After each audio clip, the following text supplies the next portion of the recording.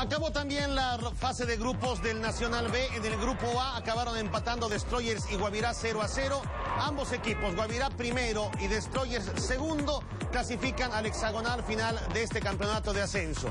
En el grupo B, Unión Maestranza de La Paz ganó el grupo con 19 puntos y lo acompaña a la siguiente ronda Ramiro Castillo, también de la ciudad de La Paz, que con dos goles de Elvis Uriona y uno de Carlos León derrotaron al equipo de Oruro Royal.